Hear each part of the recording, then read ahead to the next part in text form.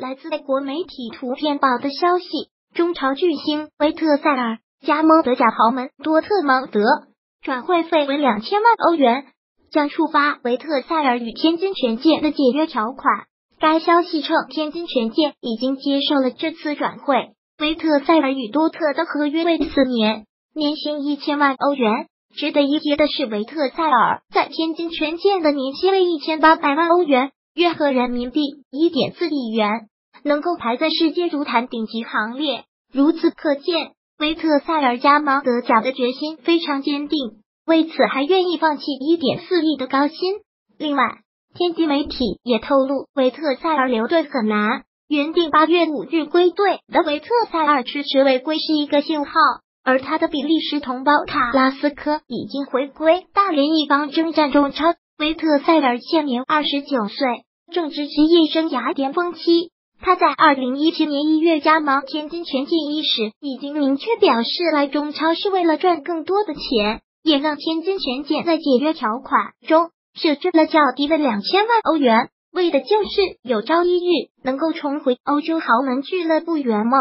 作为世界级的球星。维特塞尔与大部分的球星一样，拥有一颗夺取欧冠和顶级联赛冠军的心。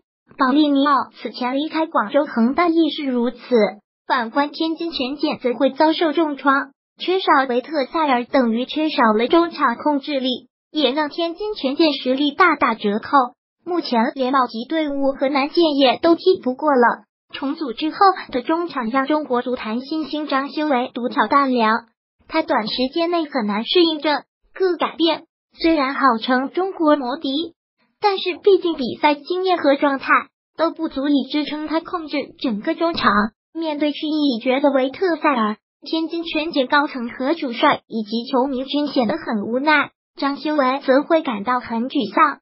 他正处于职业生涯高速上升的阶段，如果能一直陪伴在维特塞尔身边踢球，他的能力会提升的很快。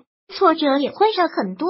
眼下，天津权健为了减少影响，主教练索萨必然会让球队的阵容发生较大变化，以便激活张修为、杨旭等本土球员。